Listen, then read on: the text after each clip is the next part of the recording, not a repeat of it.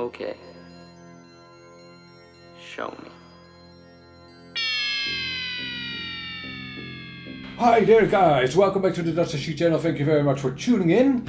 And you, just like me, probably have a black slab like this in your pocket. A smartphone, yay, very versatile gadgets and like mine, yours uh, probably has a camera. Maybe yours even has two or three or four cameras. Mine only has one camera. Uh, nevertheless, it's a pretty good camera, 4K camera, so that's useful. However, um, I actually use this for thumbnail pictures, for instance. Right? Pretty good camera. And it can also shoot videos. And if you've ever done uh, video shoots with your phone, you know that those videos, yeah, it's very actually very hard to keep a very steady grip on a on a slab like this, right? Therefore, things like this have been around for quite a while and it's all folded up as you can tell. It's a, a gimbal, a handheld gimbal for your phone. Like I said, these have been around for a while. This is a new breed of those. It's also pretty affordable, especially because you already have that camera, right? You only need the gimbal part. And uh, yeah, it's foldable, so very convenient. And um, let me show you one of the differences of the new breed of gimbals uh, that uh, sets them apart from the old breed. Uh, this one is again foldable, which is what you want. You want to be able to take it with you. So flap, and that's about it. Uh, it has a couple of locks to keep it steady like this. It has a lock over here and it has a lock over here and it has a lock over here. Okay, so and you then slap your phone into this handle, right? There you go. Phone in a gimbal and let me switch the gimbal on. There's an on off switch over here. There you go it's leveled itself out. So uh, yeah, the camera is now pointed towards me, obviously. This is what I'd use it like. And as you can tell, this, this second motor, first motor, second motor, or second axis, isn't straight behind my phone. I hope that's visible. In the older generation of phone gimbals, this motor would be over here which uh, wasn't a problem, that worked. However, the new breed of phones with uh, two or three cameras have a very wide aperture, a wide angle lens to them. And that, that second motor would be in the way, would be in the shot. It's actually not a problem for me. My, my camera, my phone camera doesn't have a super duper wide angle shot.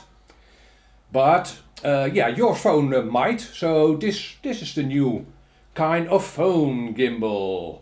Now, this phone gimbal I purchased for myself. I make YouTube videos, as you might might have seen. Yeah, uh, so I purchased this. this. This is a Feiyu Tech gimbal and it's called the uh, Vlog Pocket. I didn't intend to do a, a review of it. Uh, is this a review? A mini review?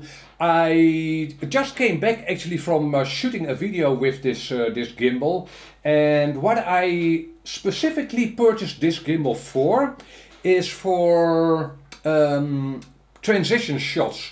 Say maybe I'd say in my video let's go out to the field and fly something like that and then I'd have a transition shot shot with this this gimbal with my phone to transition from me being in the studio as I'm now to the field. I hope that makes sense. In fact, I'll show you what, that looks like. And what was I expecting? I was hoping it to be reasonable, usable. You might imagine that I, uh, I'd want to speed up that, that transition, right? Otherwise it would take too long. And especially if you speed up a video that is shaky, uh, it'll look horrible. Uh, if you speed up the video 10 times, it'll look 10 times as horrible as the normal speed. So the gimbal would have to work pretty well. And actually, let me show you how, uh, how well this, this worked. So this here is me riding my bicycle. And again, this is simply a shot I took to transition a studio shot to me testing something in the field. Doesn't really matter what, but I shot this video for that purpose and this is specifically what I purchased this gimbal for. Part of the quality of this video is down to me getting used to using it of course, but I, again, I'm riding my bicycle, which is not the most stable platform. There's bumps in the road. I have to pay attention to the traffic. And uh, that all makes for, uh, well, um, if I wouldn't have had the gimbal, this would look horrible, unusable. And, okay, so let me speed up this footage to what I'd want to use it for. So this is 8 times the normal speed. And again, if the gimbal wouldn't have worked, well, this would look very jagged. Stop motion like, if you uh, understand what I mean. But, well, this uh, I will actually go and uh, use footage like this in my videos. To me, this was a worthwhile investment. Uh, again, this gimbal wasn't expensive. There are more expensive gimbals. For instance, DJI has a new version coming up of their phone gimbal. I might give that, that one a try. For the money you pay for this Feiyu Tech, Fiotech is a reputable gimbal manufacturer. Uh, you don't get a whole lot of features in this gimbal, but it, it works. It does exactly what I ordered uh, the gimbal for. So you tell me what you think. And I guess this video is kind of like a, uh, a product tip of sorts. Uh, again, I didn't intend to make a, a, video about the gimbal. I purchased it for my own use and to, uh, well, make my videos better. But I'm pleasantly surprised by what it can do. It looks, this looks better than I had expected. Okay, so as this video is now turning out to be somewhat of an, uh, a review, let me show you what comes with this uh, Feiyu Tech gimbal. It comes with a little tripod, which is which definitely can be handy. You can uh, screw that to the bottom of the gimbal, like like so, and set it down on a table, which can be useful for time-lapse uh, videos, or maybe you want a, an, uh, a 360 degree video, the, the gimbal can do that. And also the gimbal comes with this traveling pouch, Feiyu Tech traveling pouch, and it comes with a USB cable.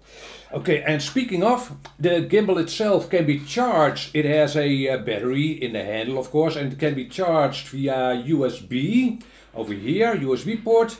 It is a micro USB, not USB-C. Oh, oh, oh. I'm not sure what happened there. This uh, obviously should have been a USB-C. But okay, micro USB and it'll work of course. You can even power your phone from the gimbal's uh, battery.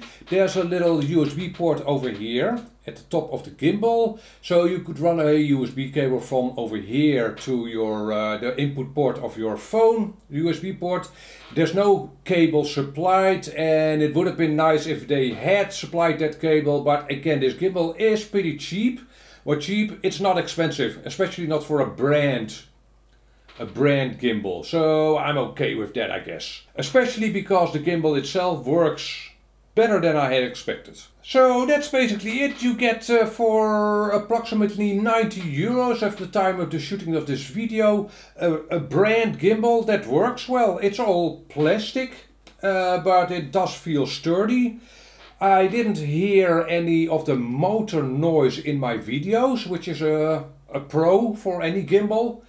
And yeah, the operation is simple. It has an, uh, an on-off button over here. It has a start-stop button over here. And you can reset the gimbal with this trigger button over here. So operation is super duper simple. Uh, that's especially uh, important if you don't use it all the time, of course. It should be intuitive to use. And it folds down into a small package. And that's basically it. Mini review, product tip. I hope it was useful. For approximately 90 euros you have yourself a brand gimbal that actually works. Catch you on the next video. Bye bye.